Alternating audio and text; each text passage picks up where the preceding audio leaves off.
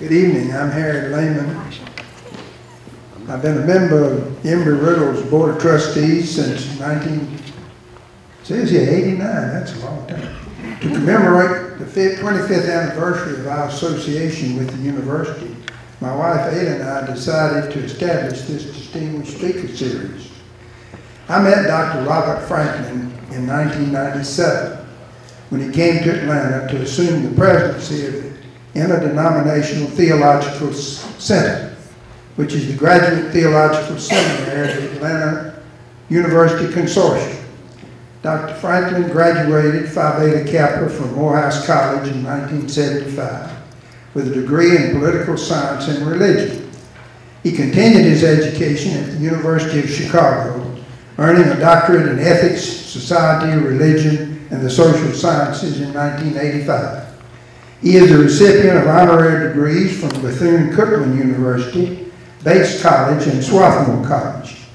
Dr. Franklin has served on the faculties of the University of Chicago, Harvard Divinity School, and Emory University, where he was Presidential Distinguished Professor of Social Ethics from 2004 to 2007. In 2007, he became the 10th president of Morehouse College which is the nation's largest private four-year liberal arts college for men. After five very successful years at Morehouse, he became a visiting scholar in residence at Stanford University. In 2014, he became the Laney Professor of Moral Leadership at Emory University in Atlanta, as well as the Director of the Department of Religion for the Chautauqua Institution in Chautauqua, New York. Dr. Franklin is a member of the Salvation Army National Advisory Board, where he and I served together.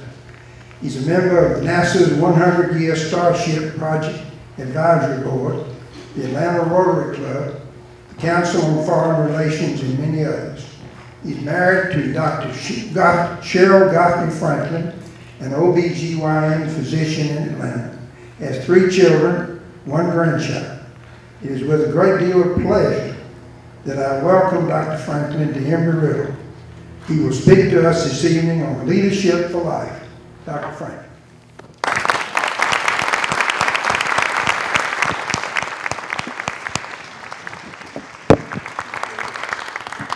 Well, thank you a great deal. I have to say that Embry-Riddle Aeronautical University could not have a more impressive and charismatic ambassador than one Mr. Harry Lamon.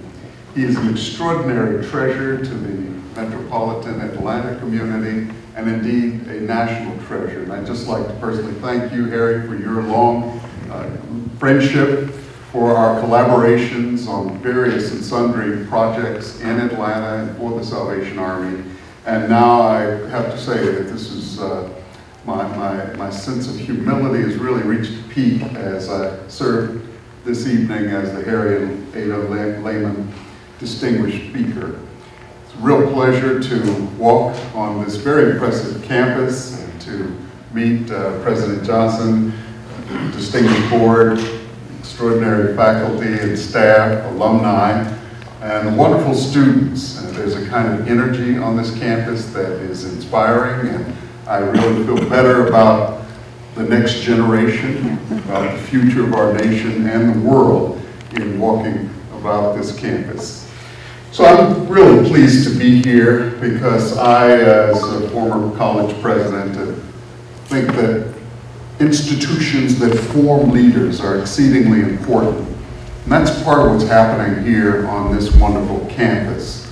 A strong culture producing strong leaders. And that's what I'd like to talk a bit about uh, this evening. And at the conclusion of my remarks, there will be an opportunity for us to exchange uh, ideas. I'm interested in your thoughts, comments, and uh, questions that you might wish to raise.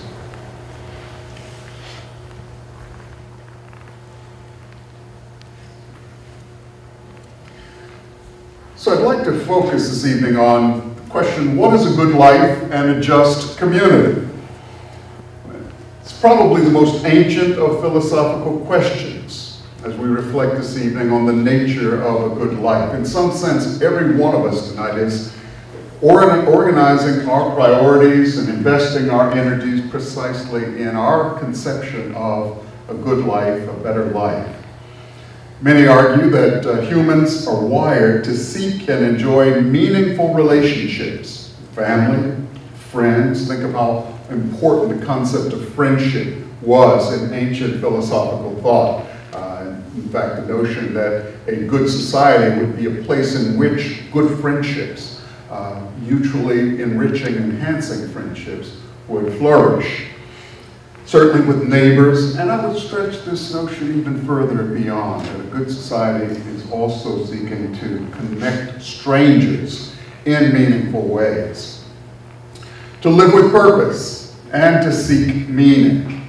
Now, these meaningful connections provide measurable heightened pleasure and well-being in the brain. A number of psychologists and neuroscientists that are paying more attention to uh, the, the pleasure centers in the brain that are stimulated when we have meaningful interaction with friends, neighbors, and not simply family. But humans are not required or determined to do so, that is, to experience meaningful relationships or to pursue uh, a good uh, life. Indeed, people can choose to live selfishly and live very bad. I know you don't have this on your campus, but in many campuses around the country, colleges and university boards and presidents are worried about a few people in their student bodies who are choosing to live and behave badly.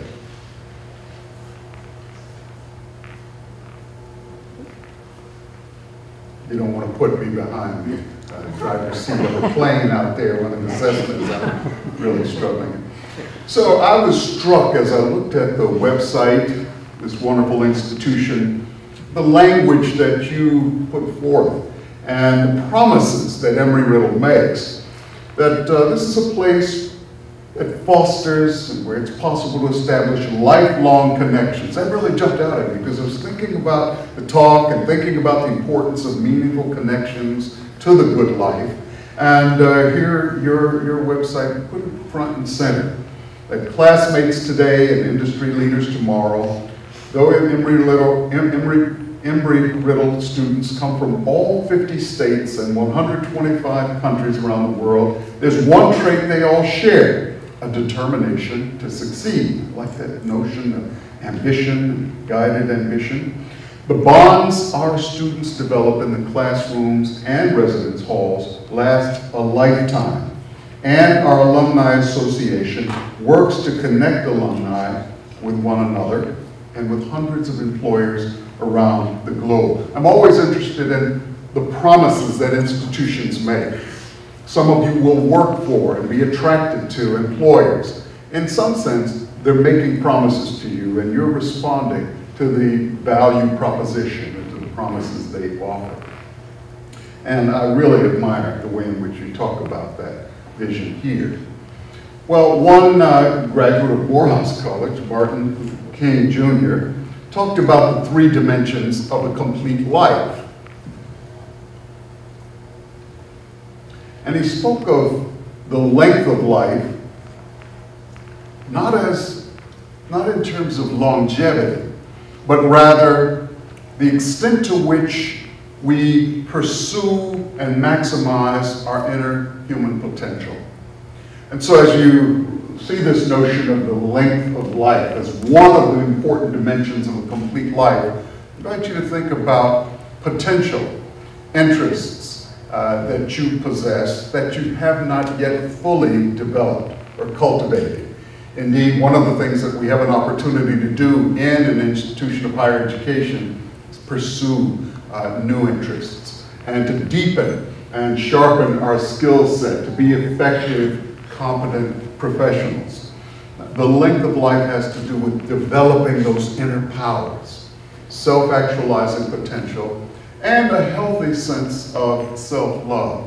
One has to affirm oneself, believe in yourself, believe you can, uh, you can get up in the morning and make a difference in the world. And that is uh, healthy. That's not a more destructive or unproductive form of narcissism. The second dimension that uh, King speaks of is the breath of life. That is our outward concern for the welfare of others, in a sense what some psychologists call other regarding love. This moves us from kin altruism, that is being kind or generous only to the people who are in our families or extended families, but also to a broader sense of what is emerging in the field of ethics as known as bystander ethics. The sense that uh, people who are observing where situations in which they're not immediately impacted themselves become involved to produce better outcomes and results. That is, acting in ways that help strangers, even if it entails a cost to oneself, as a mature expression of the good life, the moral life. In fact, King goes on to talk about how interdependence, our shared sense of connection and interdependence, is a fulfillment of the highest principles of the moral life. In one of his essays, he has this wonderful, in fact, the essay is titled The World House. He uses a very striking image that I think we can all relate to.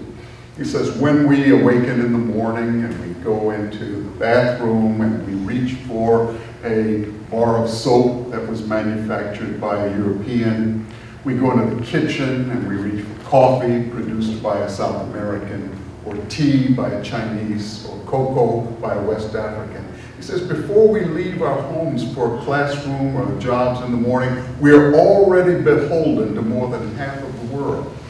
Whatever affects one directly affects all indirectly. So that fundamental sense of interdependence is a key to a complete life. So King says some people focus solely upon their own personal fulfillment, the length of life in this instance. But he challenges them to move beyond and also talk about and engage the breadth dimension, where people are engaged meaningfully with others. But then he says we shouldn't stop there. We should also continue our quest for complete life by engaging the dimension of height. And this is the human's upward, outward, and sometimes inward reach for the higher purpose. Some people utilize God language. Some utilize what the famous Paul, uh, theologian Paul Tillich characterized as an ultimate concern. Uh, so those who may be agnostic or atheists, who don't utilize or believe in God, can talk about an ultimate concern, principles of truth or humanity and its uh, survival, whatever that might be. Or other philosophers talk about a priori or pre, prior to any experience or empirical empirical reality or abstract principles, prime, first mover, and so on. So there are a lot of ways in which one can uh, pursue this sense of a higher purpose, a higher calling, that my life is more than simply uh, the, the atoms that uh, swirl around in time and space, but the, the, notion that I can pursue higher purposes and uh, experience a deeper sense of fulfillment is important to consider. So I'd like to suggest that uh, we have, as members of a university community, we can think of ourselves, each of us, as moral agents. Certainly that potential. A moral agent defined as one who acts with integrity or acts in alignment with her or his most deeply held values, especially when tested. One writer, C.S. Lewis, said that Courage is not one of the, virtues. Courage is the form of all the virtues at the point of testing. And so it's that notion that when we are tested, what manifests itself? What, what really comes forth? Acting with integrity, in alignment with our most deeply held values. Everyone has the capacity to be a moral agent, thanks to reason or the spark of the divine, or however you choose to talk about that capacity to act for what is good and right in the world. So I want to invite you to just take a moment and to score yourself for the past 12 months, having, what, having encountered this notion of the three dimensions of a complete life, the length of life, Not simply how long we live, but the extent to which we maximize our inner potential, cognitive, character, and elsewhere, otherwise. The breadth of life, how, how broadly do we reach out to engage beyond, as I said, kin altruism, our own families, but to neighbors, to friends, and even to strangers. And then this wonderful sense of uh, pursuing higher, higher callings, higher purposes, art, poetry, philosophy. Harry Lamon likes to talk about the importance of the liberal arts as a, uh, as a, a balancing conversation partner with the STEM disciplines, and I think it's very important. How are you doing on the three dimensions of life? And then think about an example in which you have served, had an opportunity to function as a moral agent, acting in alignment with your deeply held values, even when they're put to the test.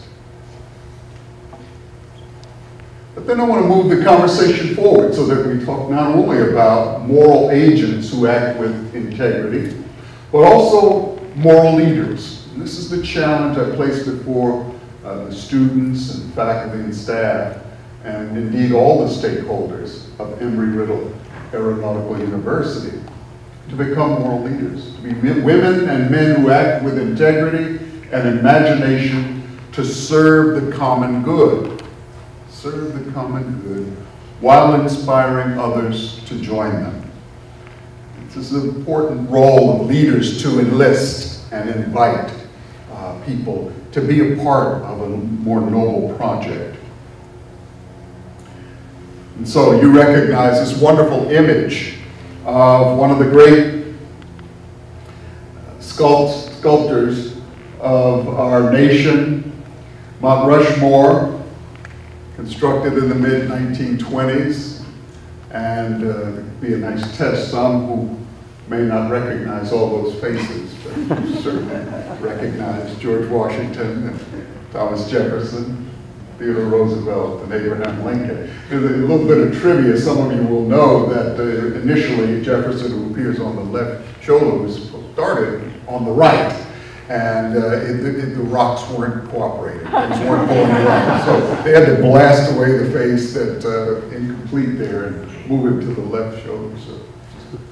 But again, I think one of the ways in which we have tried to uh, symbolize our celebration of leaders, not saints, moral leaders in political, business, educational, and other realms, people who are acting with integrity and imagination serve the common good while inspiring others to join them. So let's take a look at uh, the more extended version of a Mount Rushmore, if you will. And I'd like to invite you to think about how you feel about some of these people. Because uh, while some of these are perhaps uh, uncontroversial as uh, moral leaders, using my definition, women and men, acting with integrity and imagination to serve the common good, They may not be perfect individuals, but you see the larger purpose and agenda of their lives. So, of course, Nelson Mandela, Malala Yousafzai, recipient of the Nobel Peace Prize last year, Pope Francis, Mahatma Gandhi, Mother Teresa, the California labor leader Cesar Chavez. Many don't recognize Dorothy uh, Day, important uh, worker and leader in the Catholic labor movement. Martin Luther King, Aung San Suu Kyi of, of Burma, elected official imprisoned under house arrest, a daughter of a popular uh, former president, prime minister His Holiness the Dalai Lama. In the middle at the top, Dietrich Bonhoeffer, German Lutheran pastor who was arrested, ultimately executed for participating in a plot to assassinate Adolf Hitler. Students today in graduate schools uh, pay a lot of attention to Bonhoeffer because precisely the kind of courage that he, uh, he manifests, even as a person committed to, to peace and to the radical love ethic of uh, Jesus of Nazareth. Face also here that's often not recognized Ella Baker. She was an extraordinary uh, woman who worked with college students. That was her passion. And Ms. Baker there in North Carolina helped to organize and facilitate the organization of the Student Nonviolent Coordinating Committee during the 1960s. When others felt that young students, high school and college students should join uh, adult movements, as it were, she insisted, no, let students have their own movements, and she was one of the few women who could stand up to people, powerful personalities like uh, Martin Luther King, and said, no, the kids will have their own movement, you do what you need to do, let them do what they have to do. Uh, some students chuckle when they see uh, Bob Marley, popular uh, reggae artist, uh, Jamaican, but uh, we, I saw him do something extraordinary at a time of political division, real polarization and crisis, uh, leaders of the uh, opposition, opposing parties who wouldn't even speak to each other. And he held a concert on the, essentially, the Jamaican Independence Day. So people came together in celebration of their nation. And he saw both candidates present for this concert in the, uh, in the audience and invited them up and made them hold hands while they sang his wonderful reggae classic, One Love. It's a powerful, transformative moment for a lot of people, and they saw what was possible when leaders who across the uh, political spectrum respect one another and have a conversation. With Bobby Kennedy, one of the extraordinary moments in his life of becoming, I think, a moral leader as he observed uh, wretched poverty in Mississippi and came to a- an appreciation and a recognition that there were parts, even in our wonderful country, uh, that the, that the American dream hadn't yet been manifest, and he devoted himself in the closing years of his life to making a difference there. Uh, Some of you drink an awful lot of Starbucks. I passed the uh, Starbucks on campus earlier today. Um, Dean Glenn wouldn't allow me to stop. We were rushing him forward, but I was impressed. I'm just teasing Dean. I'm so grateful for the uh, hospitality here. But what impresses me about Howard Schultz, uh, CEO of of Starbucks, is a commitment to his employees and efforts to sort of break the silence on difficult social issues. Doesn't always get it right, but there's a, again, and, and, and a commitment to acting with integrity and imagination uh, to serve the common good. And of course, leaders have to be humble enough to revise, constantly revise as they encounter challenges and as they engage in dialogue that helps them to grow. Gloria Steinem, founder of Ms. Ma- Ms. Magazine, many recognize as the founder, uh, leading voice of the feminist movement. As we sit tonight, she is walking from South Korea to North Korea. Plans if she is able to cross the, the DMZ uh, there, so that's going to be extraordinary. But once again, uh, not accepting the kind of frozen and polarized tensions between North and South Korea, determined to open new kinds of conversations. Who knows where that will go? That's one of the challenges of being an innovator, a thought leader, someone who pushes the boundaries. You don't know how it turns out always, but you're willing to take responsible risk. Uh, some, you know, love him or hate him, uh, Michael Moore, filmmaker, uh, challenging us to have difficult conversations, to hold uh, our leaders uh, uh, accountable, and of course, he's as mischievous as they come as he seeks to do that in his art. Harvey Milk, one of the early uh, openly gay leaders, San Francisco uh, supervisor, and again, one who was attempting to broaden our understanding of what it meant to be a diverse, inclusive nation. Marian Wright Edelman, founder and president of the Children's Defense Fund, nonprofit based in Washington, D.C., uh, Yale Law School, uh, educated woman who actually guided Bobby Kennedy through the Mississippi Delta as he was uh, engaged in those tours and preparing to, uh, to run for president.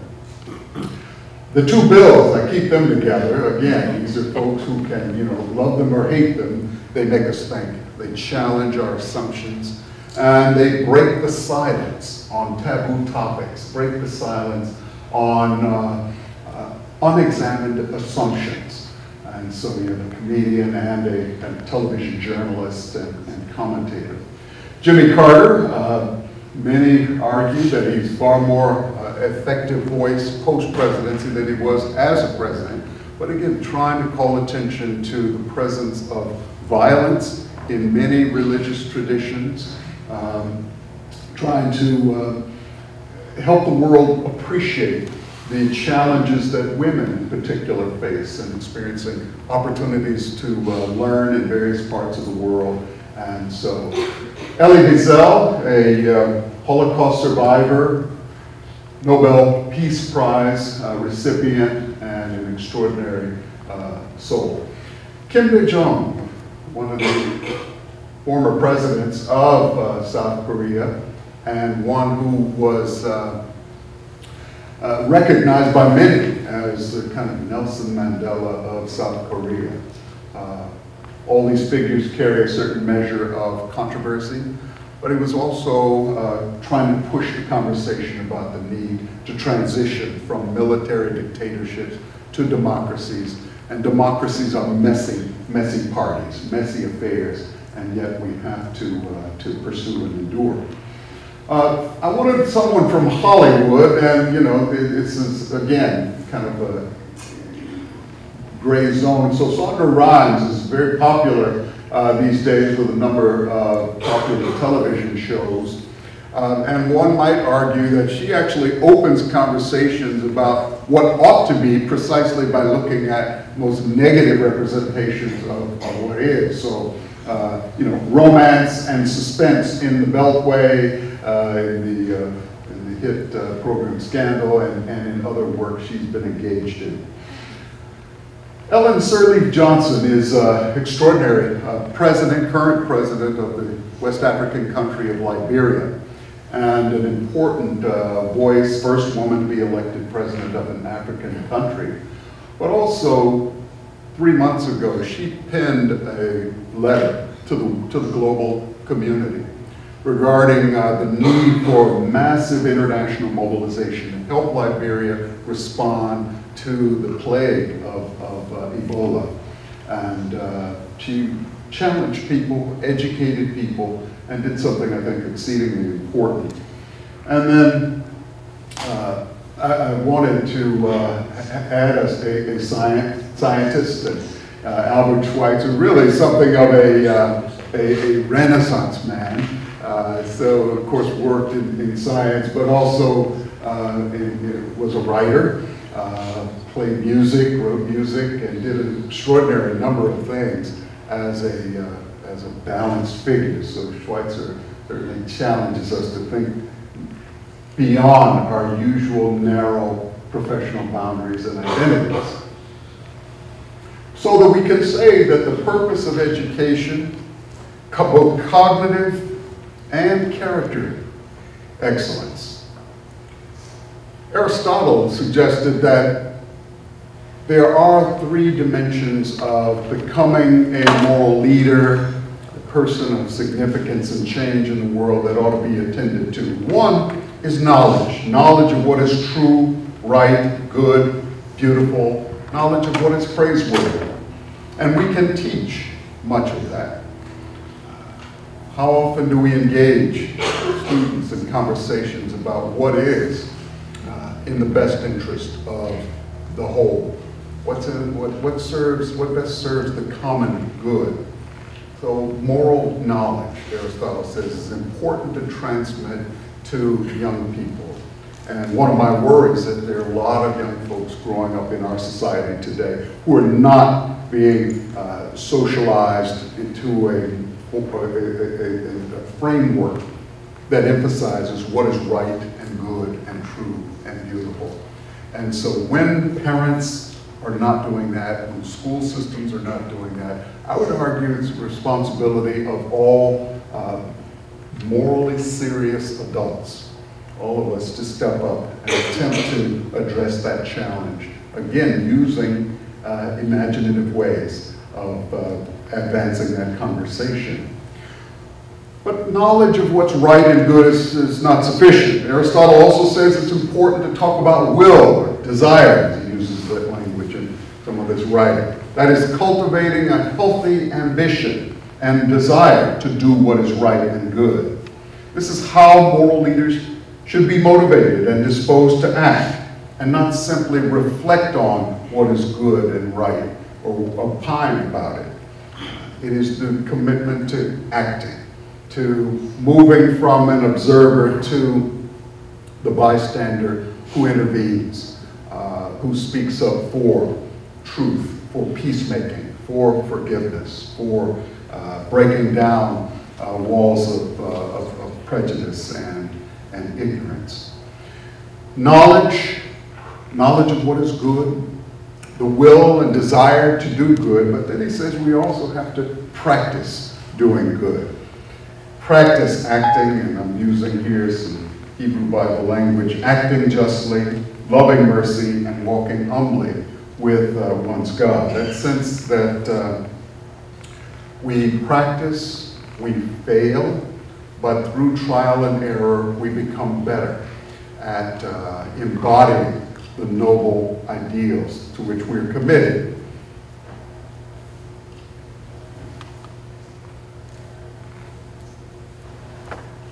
I would argue we need leaders who educate and inspire us to reach that which is seemingly impossible. Think about what it was like in the early years as this republic was coming together. The need for leaders of integrity and imagination. They were not perfect. They were not saints. They were committed to a project of transforming this nascent country into one of the great nations of the world.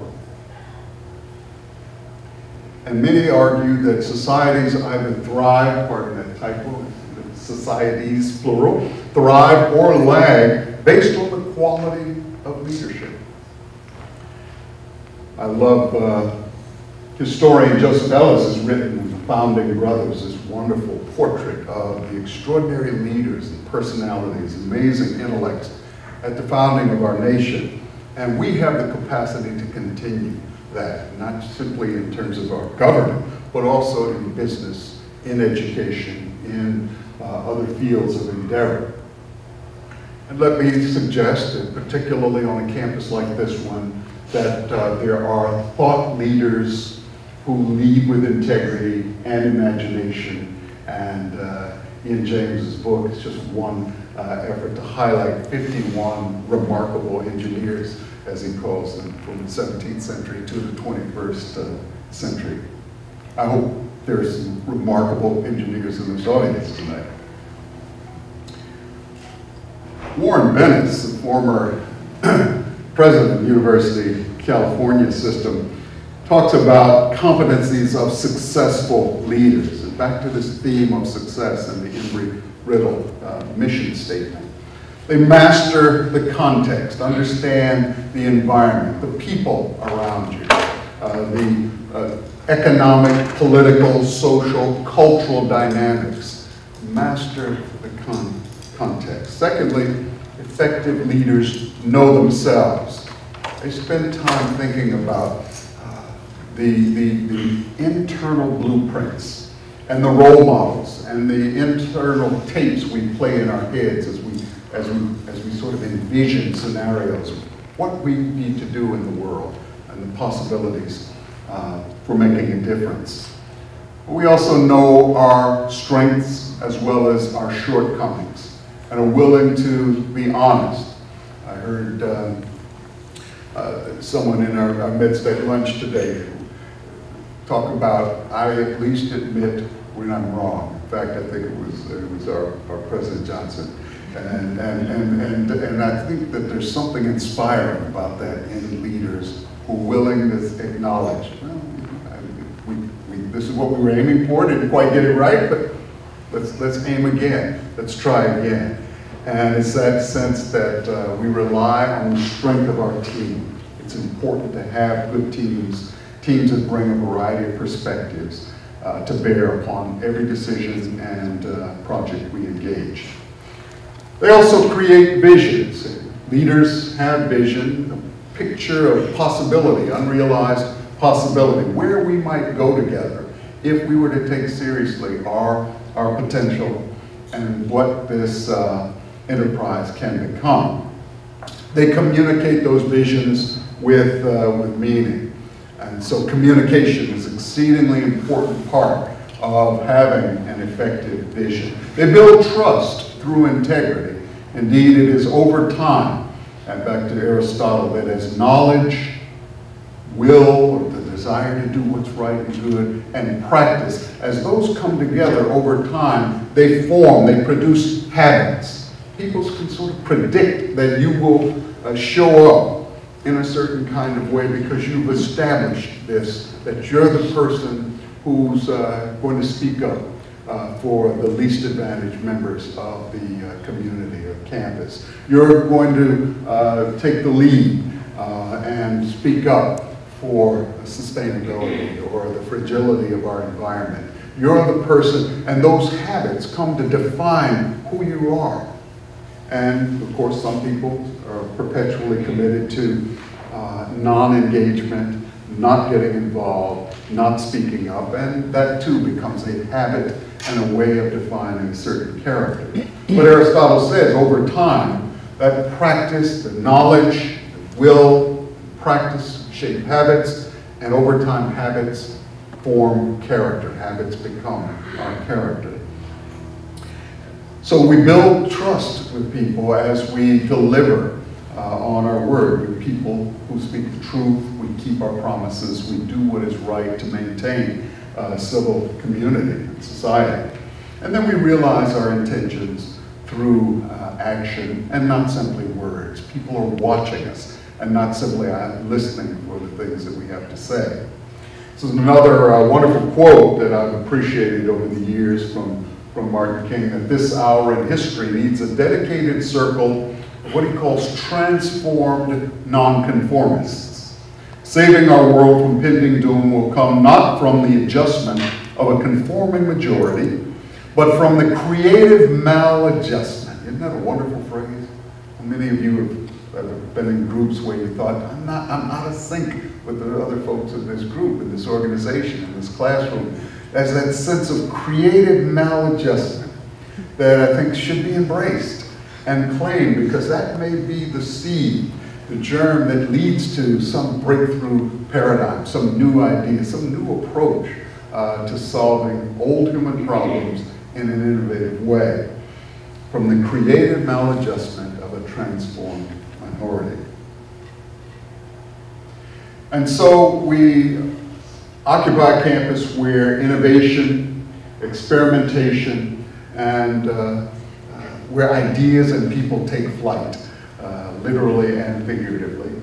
And I'm so impressed with the opportunity for uh, Embry-Riddle to help the United States of America and the global community uh, cultivate leaders for life women and men who integrate the length, the breadth, and the height of life in meaningful ways, who act with integrity and imagination to serve the common good, and who themselves seek to be Renaissance men and women, who balance uh, their commitment to intellectual and cognitive excellence with character excellence as well, a commitment to listen to others, to include others, and to serve, to give back, uh, to, to, to uh, invest in the next generation and a better world.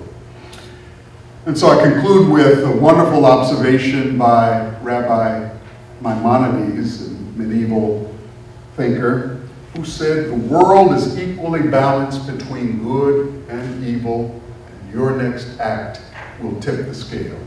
Thank you for listening.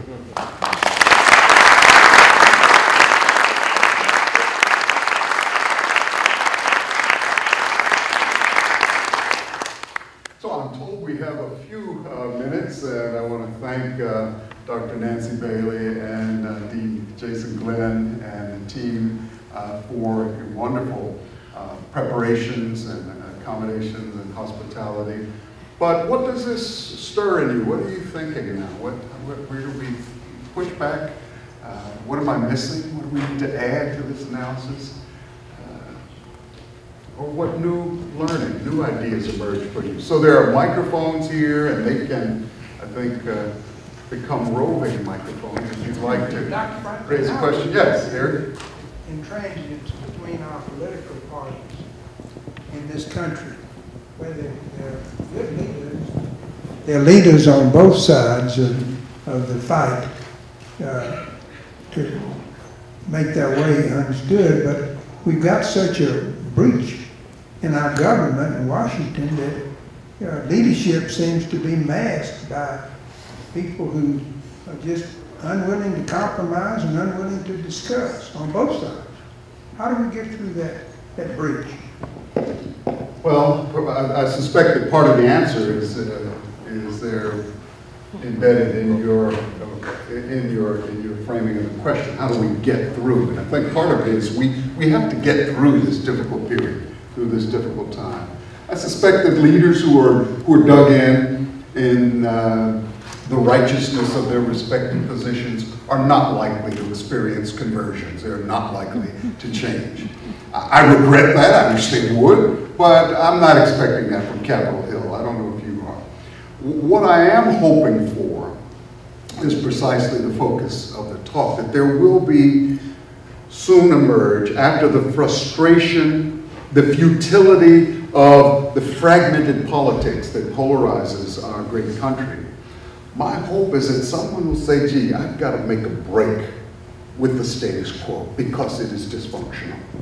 And perhaps a, a, a single or a couple of leaders, and then a coalition emerges around them, and soon uh, a, a, a different kind of voice can emerge. So we've, you know, we've seen that.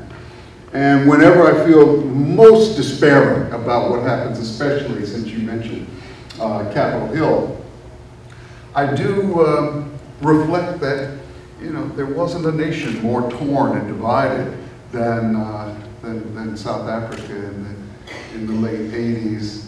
And the tensions and the sense that there would never be change.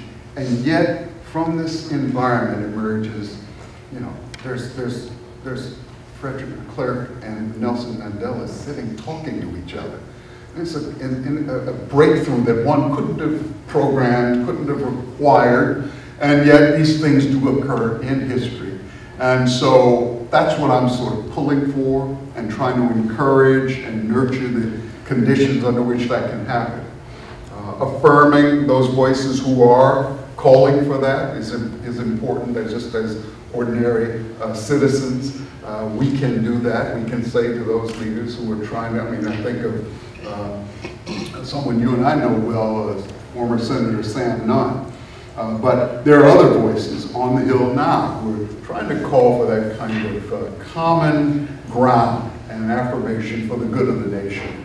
So there may not be significant dramatic breakthroughs, but small voices of sanity and reason and openness to uh, compromise and reconciliation can emerge. And I hope that that will, uh, will happen in our time. Thank you. Other comments or questions or suggestions? Yes. Front row, I guess we should ask you to wait for the mic. Is there anything that higher education can do Hmm. to bridge this gap, this divide that exists in the politics? Uh, it- Whether it's in the curriculum or extra curriculum, anything that you can suggest? I think it's always uh, useful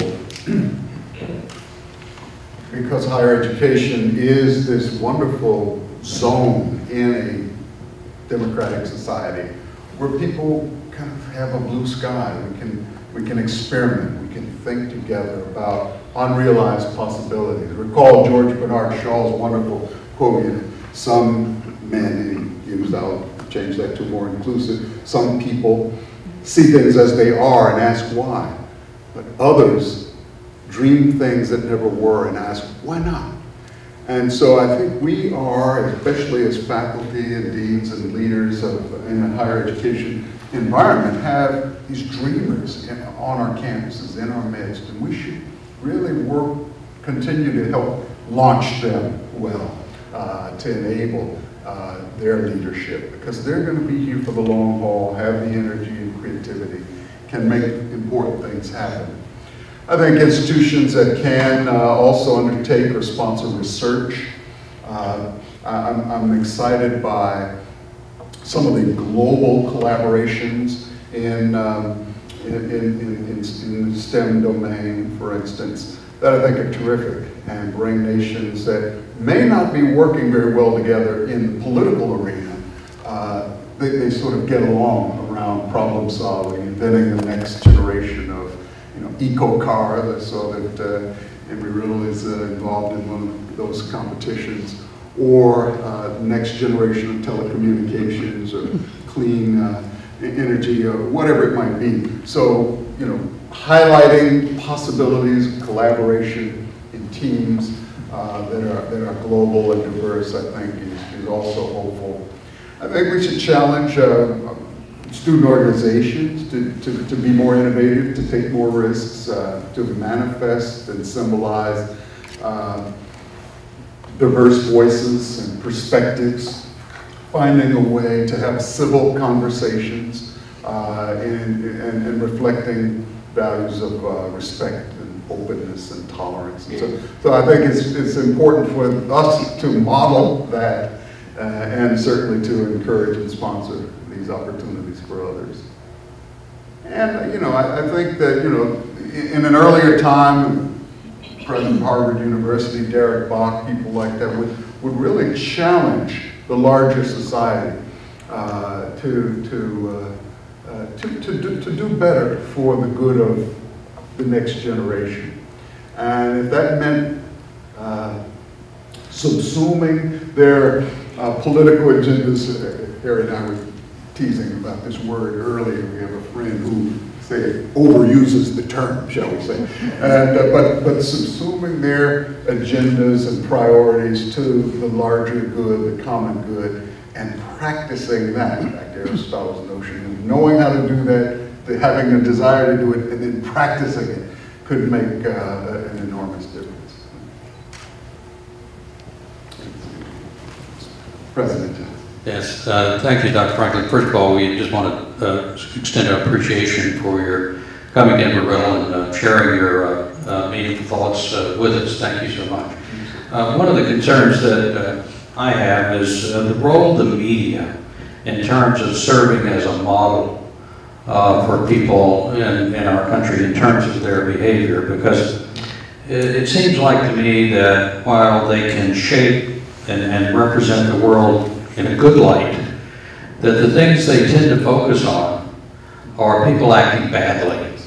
And it seems that that's what's newsworthy nowadays.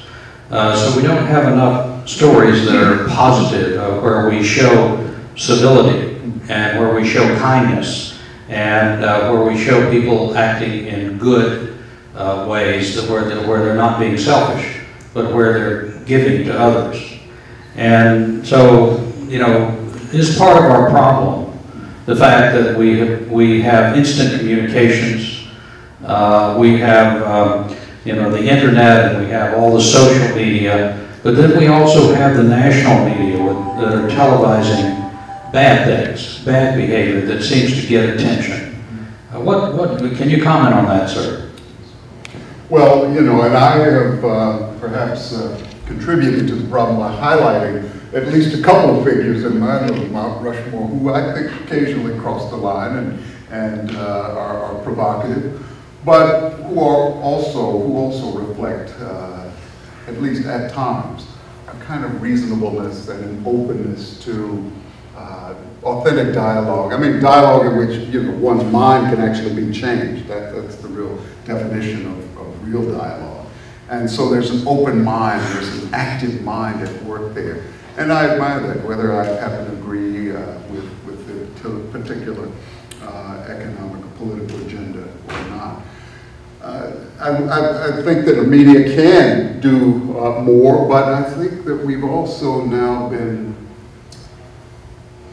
we've become conditioned to a certain media diet, intellectual content that is uh, uh, polarizing, bombastic, sensational, and um, often overly materialistic and, and, and, and- self-centered that is, uh, I think, ultimately harmful, harmful to us. One challenge I hear, because, I mean, anybody who listens to the C-SPAN or you hear thoughtful pundits weigh in on these questions, well, we need to offer more counterexamples, examples examples of a positive uh, model.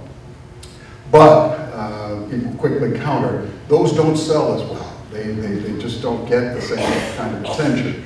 So I think that's a challenge for us to puzzle out. How can we make uh, the examples of people, uh, politicians, business leaders, religious leaders, especially in the realm of uh, religion now, where it's become such a, uh, not simply polarizing, but in many respects deadly uh, force in society. And yet we all know that religion has been and can be and must continue and in the future be a force for positive uh, change, for helping us solve our deepest problems. Uh, I know that Dr.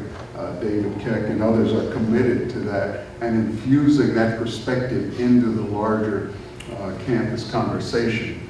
So I think we just have to sort of plow away in a quiet, steady, faithful fashion to say, we know that this is right, and we will continue to practice and do what is right and good. Listen, be open-minded, be forgiving, be patient with one another. Uh, Those are not the sexiest of virtues, but I think we have to just hold, hold, hold the, um, uh, hold our ground on those. And then, as I say, challenge and reward people for making uh, experimental steps to, to get it right. But I, I do think we need younger people, creative people who are operating precisely what you hi- highlighted in terms of social media and a universe that, you know, my older brain is still trying to wrap itself around. Uh, they, they, you know, they can frame that Instagram post that says, uh, that says something important to this generation that I may not, you know, they may fall asleep on this. But the, the, the joy and excitement I have is that there are younger people, there are students here who can take the kind of fundamental virtues and values we are talking about, and I trust most of us share, and package and communicate those in innovative ways. So I'm hopeful, although I don't have great answers right now about where that change will come from. So you mentioned in your presentation, you talked a lot about people that have made an impact. And, you know, just when you think you have a knack on leadership is when you've learned something new. And, and I thank you for you know, coming here. And you, you, put another aspect to things that I seem to have learned over my short time in Embry-Riddle.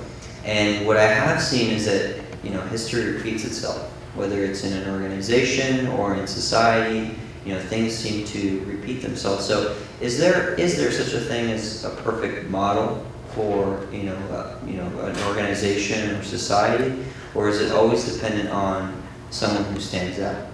Is it always dependent on a leader and someone that can motivate people? Yeah, it's an interesting uh, question. I, I don't think it uh, always depends upon an, a, a single leader an innovator, or even, you know, Margaret Mead, the great anthropologist, talked about uh, never doubting the power of a small group of well-organized, passionate individuals to change the world. She said, in fact, it's the only thing that ever has. And so I think that the, uh, pre- precisely our sociality, is our commitment to operating in groups, usually smaller groups, but uh, having a, a set of conversation partners who can challenge us to think more clearly and then on occasion to act in ways that are important to the larger world. We want to call attention to something that people uh, are missing. Uh, It may start with a few people in positions for social responsibility. or It may be, you know, uh, Greenpeace uh, boarding a ship. There aren't a lot of people there, but they go out and say, look, you have to stop killing uh, whales or sharks. And we're just going to show up and get in the way and, and say no. So this notion of those who are resisting uh, uh, injustice or harming um, uh, endangered species. We see this happening with elephants and, and all sorts of campaigns where a relatively small number of people who feel uh, passionate and committed about an issue begin to simply act. And over time, um, attention is paid to them. So, so you're right, it's not just that extraordinary individual, our Mount Rushmore figures, but sometimes small and even larger organizations, uh, groups committed to certain uh, visions and, and causes can, can advance uh, uh, our democracy in, in, in important ways.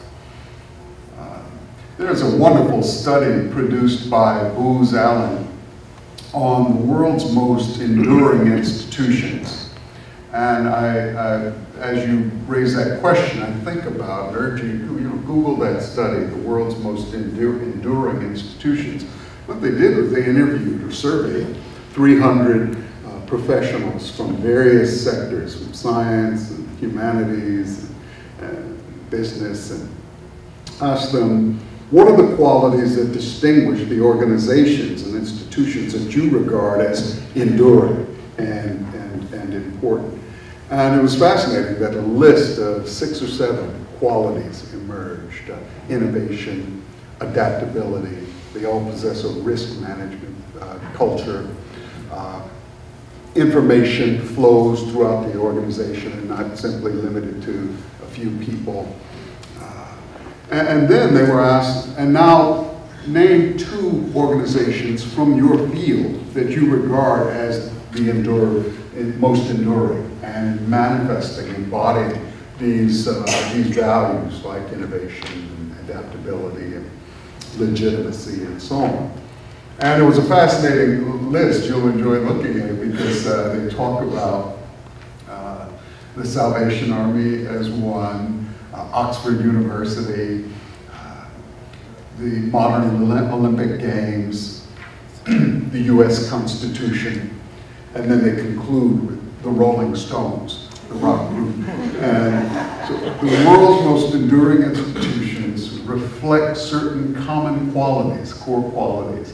And perhaps uh, leaders of organizations can pay more attention to uh, almost a kind of periodic checklist, a report card on how are we doing uh, in these areas. Is that responsive to you?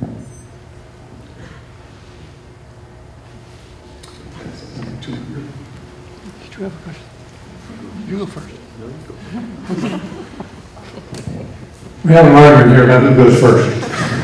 I almost wish he'd gone first, but I hardly know how to express what I'm trying to say here.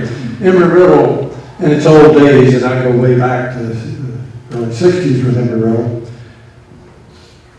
succeeded, uh, even though it was borderline broke for, for its first decade, I reckon, and maybe longer, and struggling, struggling constantly financially. It succeeded uh, only, I mean, primarily, I don't say only, because of the commitment, no, I can't say only, as to the student body, because of the commitment of the students to a passion for aviation, which is, uh, you might be passionate about tennis, you might be passionate about chess, you might be passionate about whatever, but our student body was passionate about aviation.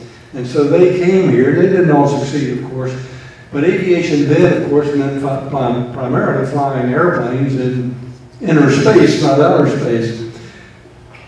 As things have progressed, fortunately for our university, uh, that passion has extended as those boundaries have extended. And so we have an astronaut sitting here with us because that passion has gotten beyond the atmosphere. Necessarily, uh, however, becoming less focused on a single thing and, and involving many more technical things that go in a variety of directions, more or less uh, synchronized and more or less not synchronized. But, but that was the focus. And that's what has made this university su- succeed, in my opinion, along with the other part, which is the faculty that could, could uh, provide what that passion uh, among the students needed.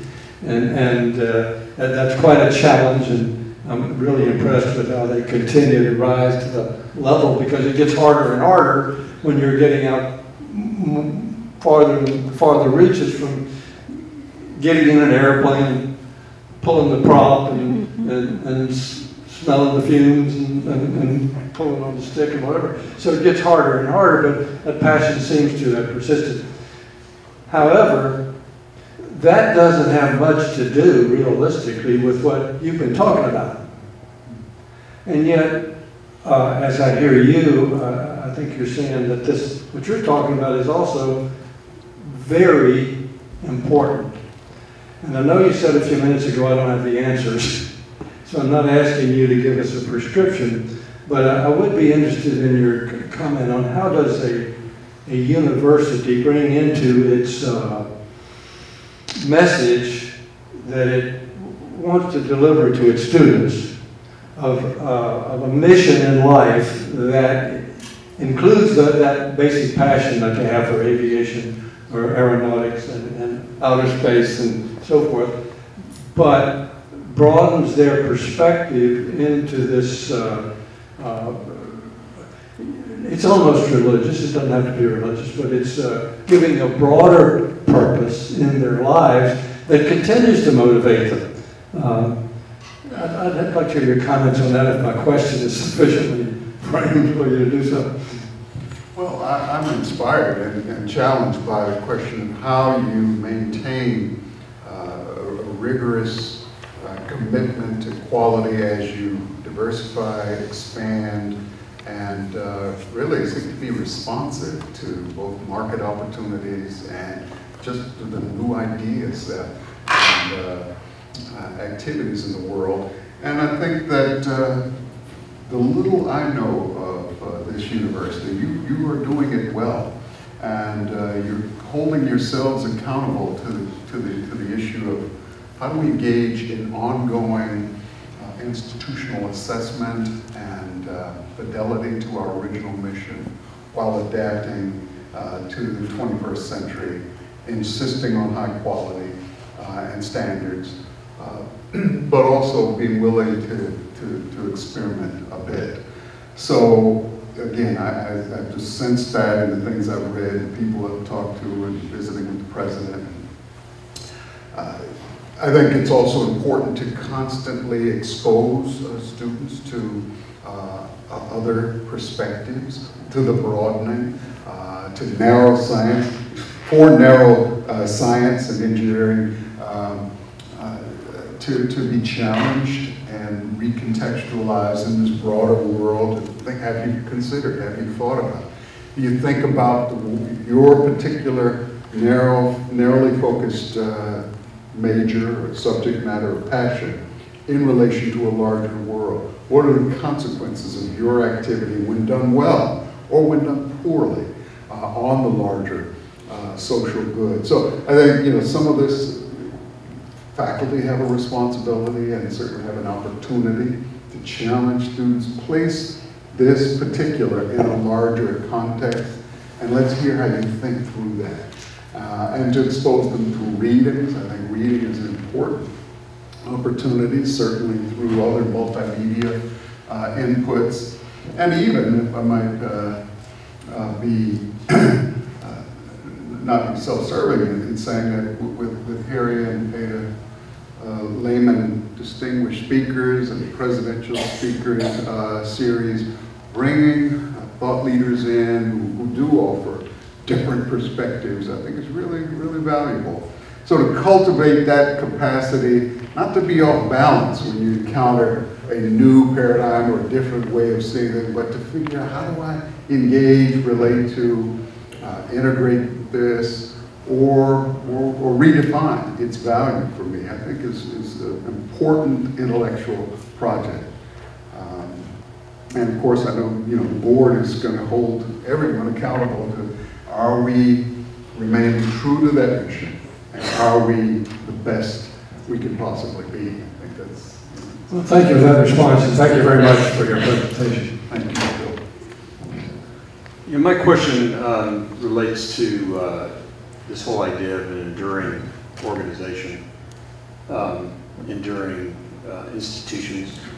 And when I think about uh, our fine university here and, and, and uh, the idea that we're developing uh, the next generation of leaders and people that are being trained here uh, uh, and worldwide on our campuses to assume that, that, that next role. Um, what concerns me is, is the, is the whole notion of leadership. Um, in my experience, the leadership development actually is taken on by those institutions they join. And when they're fortunate to join the military organization, there's a very advanced understanding of leadership.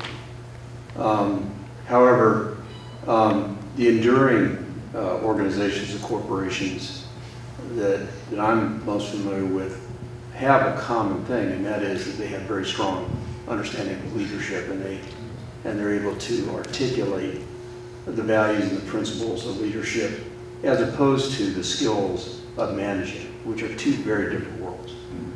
Um, so I guess the challenge I, that, that I have in my mind is what role um, does the institutions of higher learning uh, really have? What, what, what responsibility do they have for teaching values-based leadership and really beginning to give a full um, uh, sense of development or full sense of understanding among the students coming through these institutions um, about what leadership is.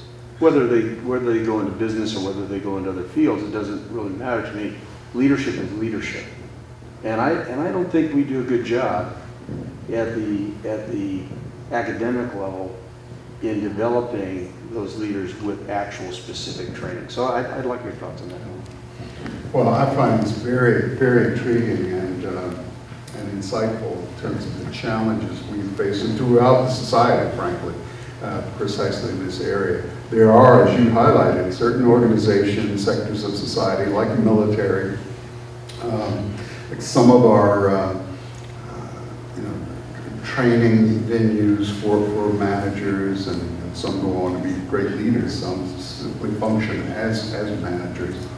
Uh, but we need to do a better job of, um, of, challenging people to, to, to develop what I think begins with a kind of intellectual uh, stimulation, uh, challenge, uh, inviting people to dream beyond what currently exists and not simply to focus on the, the management of the now and the status quo.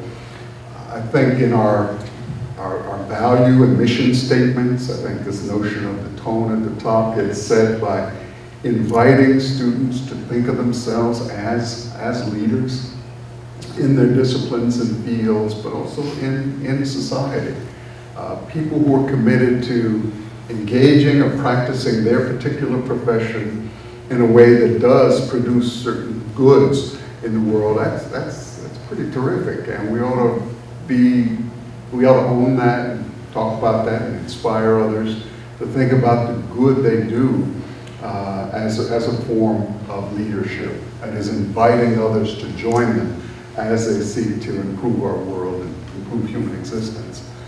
But um, yeah, there, that's another one where I think we are, we are not doing well as a society. And I think this conversation's been going on in, uh, certainly in, in business schools and other places when uh, I heard one study suggesting that among the elite business schools, you know, two-thirds of the students were, uh, you know, admitted they were willing to, uh, to cheat or bend the rules in order to improve the bottom line. And sort of stunned the faculty. They said, gee, uh, there's a learning agenda we're not covering if, you know, the majority of students in my classroom are thinking this way, or this sort of situational ethics.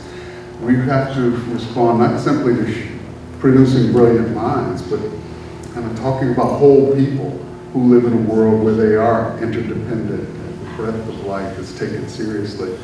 So I think it's a time for recalibration of the conversation about leadership uh, in, in the nation.